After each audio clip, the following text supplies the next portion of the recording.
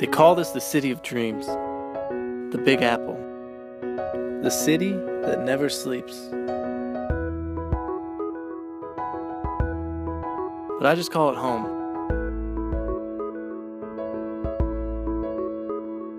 They say, if you can make it here, you can make it anywhere.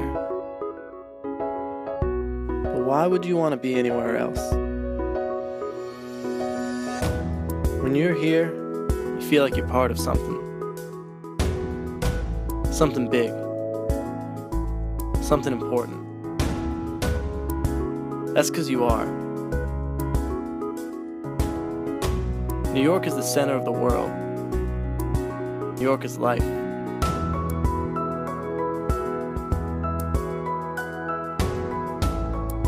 People don't come here to play it safe or simply to experience the places or the people,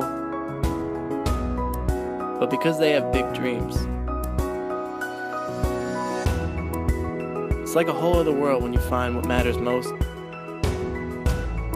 It's easy to think it's impossible. Sometimes you have to believe in the impossible. This is more than just my dream. This is my home.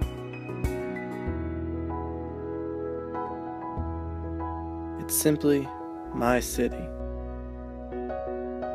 New York, I love you.